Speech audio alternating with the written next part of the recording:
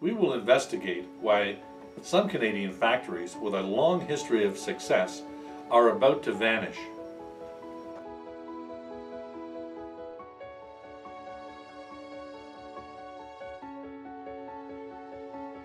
Uh, my name is Brian Lau, and I'm involved in the production of this documentary.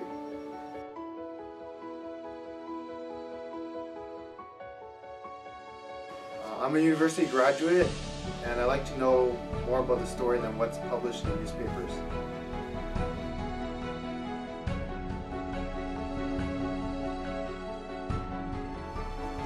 Hi, I'm Jesse Prasad, and I'm involved in the production of this documentary. We feel anger because um, we didn't choose Caterpillar. Caterpillar chose us. This documentary is not a blame game. Corporations have to make tough decisions. Those decisions affect a lot of people. We need to understand that. We both lost our jobs and really the same day. I just watched a video of a factory shutdown, and my heart goes out to those people. And I mean, it's just going to be sad.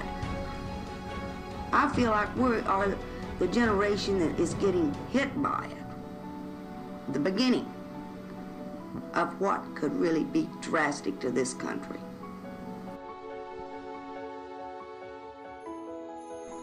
If they get by with it, what is going to happen to the next generation and the next generation? My grandfather worked here, my dad works here, my uncle works here. And I had a very difficult time understanding where somebody uh, had the control of the market and was making a profit, why the need to close. And of course, ultimately, it was clarified in my mind that uh, they told me in words of one syllable they were going to make plastic irons in Singapore and that they could make the plastic iron in Singapore and sell it for roughly the same price as they sold the metal iron. They could make the plastic iron cheaper, therefore they'd make a larger profit. Factories are vanishing, and I'd like to know the truth.